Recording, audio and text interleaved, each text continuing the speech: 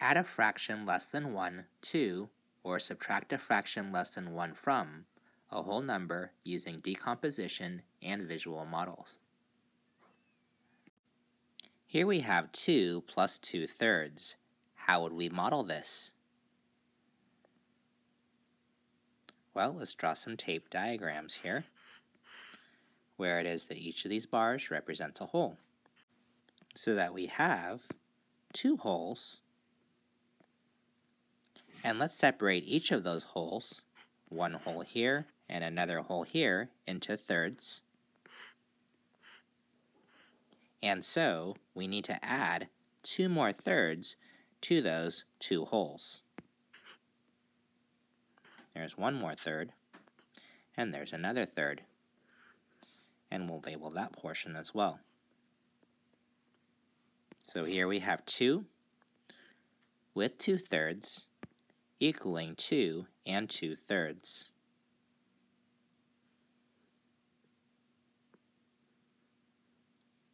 Two plus those two thirds gives us a sum that is a mixed number. Say the number sentence that adds the whole number to the fraction. 2 plus 2 thirds equals 2 and 2 thirds.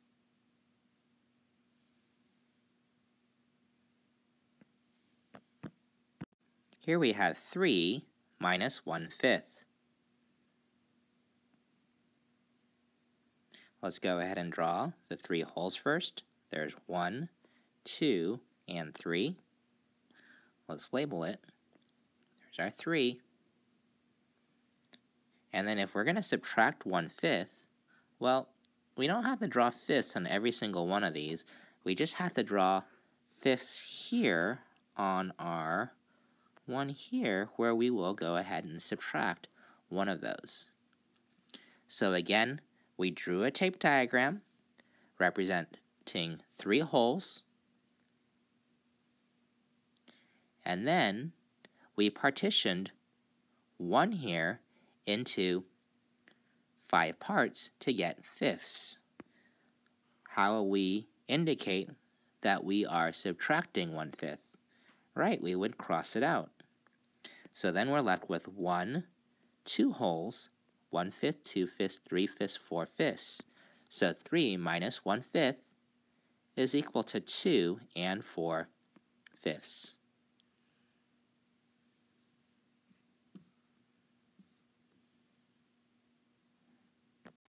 Notice here that the number of ones gets smaller when we subtract from it. Here we have 7 minus 3 fourths.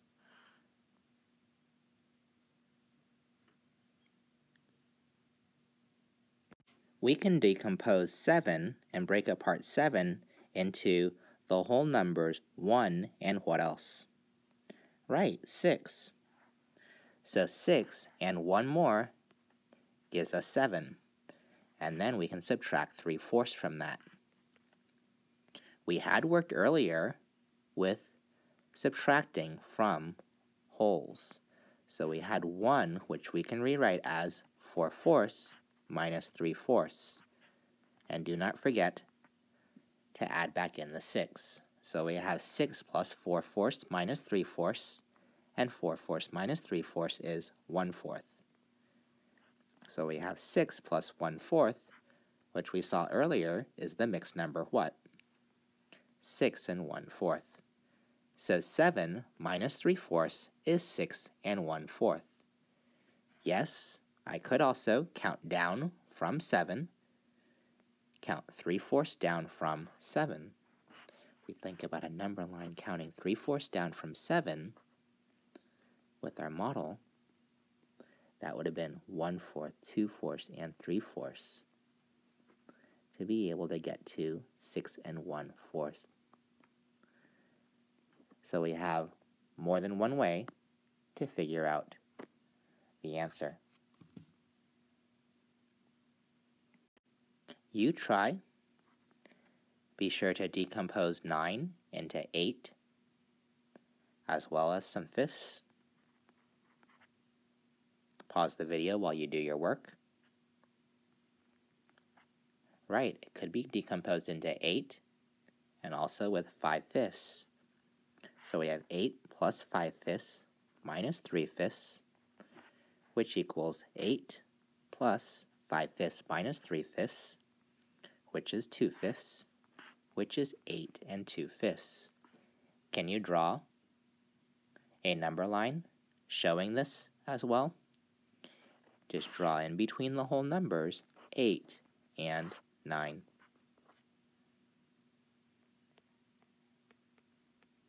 Well, we started at 9, and we went back 3 fifths, so we better divide our number line into fifths. 1, 2, and 3. Meaning we subtracted 3 fifths to be able to get to 8 and 2 fifths. So this is how we can subtract fractions from whole numbers. Here's one last problem. 9 minus 7 twelfths. We will rewrite 9 as 8 plus 1, and we're still subtracting 7 twelfths. Which will we rename to twelfths, 8 or 1? Right, we rename the 1 to twelfths. How many twelfths? 12 and we're still subtracting 7 twelfths. What do we do first? What I'm circling is what we do first. We've got twelfths there, and 12 minus 7 is 5. So we have 8 adding together with 5 twelfths, which is 8 and 5 twelfths. 8 and 5 twelfths is in simplest form. How would we check that? Right, the inverse operation of subtraction is addition. So instead of 9 minus 7 twelfths equaling 8 and 5 twelfths, I would add 8 and 5 twelfths with the 7 twelfths to be able to hopefully get 9. Let's run a check using addition there. That would be 8 plus 5 twelfths and 7 twelfths is 12 twelfths.